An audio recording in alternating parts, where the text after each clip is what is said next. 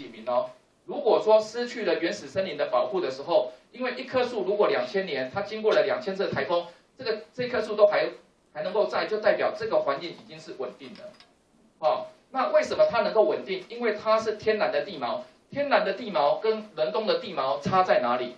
国道三号为什么会崩塌？它的地毛经过了每一次每一次的松动，哦，它就会产生间隙。那这样的间隙呢，久了之后间隙越来越大，它就没有办法拉住这个呃山坡地的坡体，然后就垮下来了，对不对？哦，那个这个是人工的地毛，它没有办法哦去补足这个空间的，就是经过了松动之后产生的间隙。但是呢，天然的地毛像是树或者红块或者是天然的森林，它不一样。你想想，经过了地震之后，哦，一样山坡地松动了，那这棵树会怎么办？会长根啊，就好像你给它松土啊，它一松开之后，因为他们要竞争，这个地方出现了一个空隙，兵家必争之地，所有的根全部长进去，长进去就把这个空隙补起来，就把这个坡体稳固了。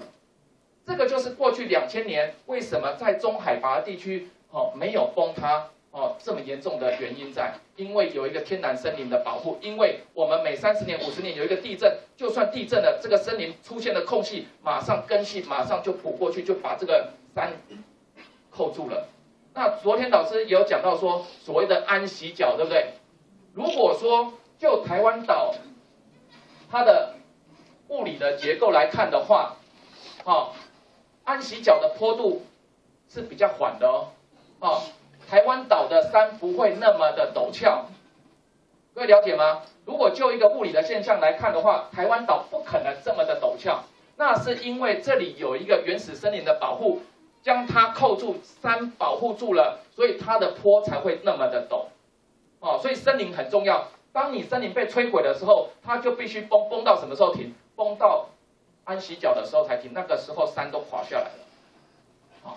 这个是莫拉克风灾，哈，它形成了这样的一个很大的一个撕裂的崩塌。那整个阿里山公路，它是位在阿里山溪跟什么？跟浊水啊，不，跟曾文溪流域。那这个曾文溪流域呢，旁边下面就是所谓的曾文水库。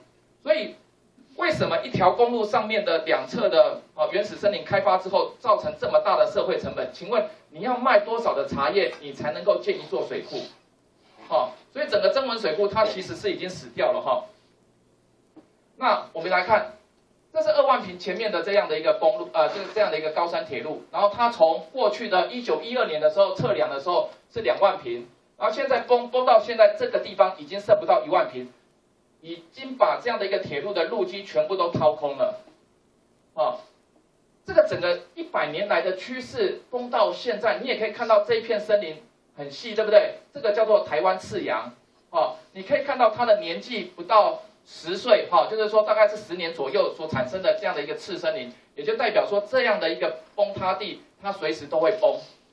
如果这条铁路是你家的，或者是你公司在经营，是私人的，那请问这百年来因为失去了天然森林的保护，崩塌从两万平崩到剩下一万平，那这条铁路你觉得它还具有观光或者是历史的价值？你想要继续营运的话，你要怎么办？你要怎么办？